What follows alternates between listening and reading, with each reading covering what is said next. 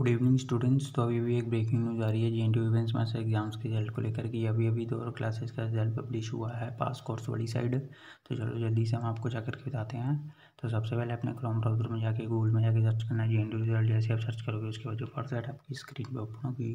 यहाँ रिज़ल्ट लिखा वहाँ पर आपने क्लिक कर देना है, उसके बाद आपकी स्क्रीन पर ऐसे भी खुल जाएगा तो आपने थोड़ा सा नीचे ना स्क्रॉल करना है। रिज़ल्ट वाली सेक्शन में जाके स्मार्ट सिस्टम न्यूज़ जाने का वहाँ पर आपने क्लिक कर देना है, उसके बाद आप फाइनल रिज़ल्ट वाले पेज पर पहुँचोगे तो सबसे पहले अपने ईयर पे क्लिक करना है दो हज़ार चौबीस को सिलेक्ट कर लेना मंथ पे क्लिक करना मई को सिलेक्ट कर लेना कोर्स टाइप पे क्लिक करना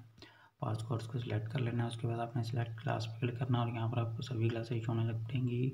जिन जिन क्लासेस का इवेंट्स में इसका रिज़ल्ट पब्लिश हो चुका है। तो अभी अभी जिस क्लास का रिज़ल्ट आया है, वो है एम एस सी केमिस्ट्री तो सिंपली अपने यहाँ पर क्लिक करना, उसके बाद सिलेक्ट सेमेस्टर पर अपने क्लिक करना। और ये आप अपनी स्क्रीन पे देख सकते हो सेकंड सेमेस्टर और फोर्थ सेमेस्टर दोनों का रिज़ल्ट पब्लिश हो चुका है। तो आप जिस भी सेमेस्टर के सिंपली उस पर क्लिक कर दो, उसके बाद रोल नंबर के सबमिट कर दो, आपका रिज़ल्ट आपकी स्क्रीन पे होगा।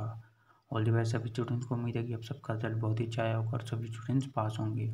तो जैसे ही किसी और क्लास का या किसी सेमेस्टर का रिज़ल्ट आता तो हम आपको बता देंगे। तब तक इस वीडियो को लाइक कर दो शेयर कर दो चैनल सब्सक्राइब कर दो और बेल आइकन ज़रूर प्रेस कर देना। Thank you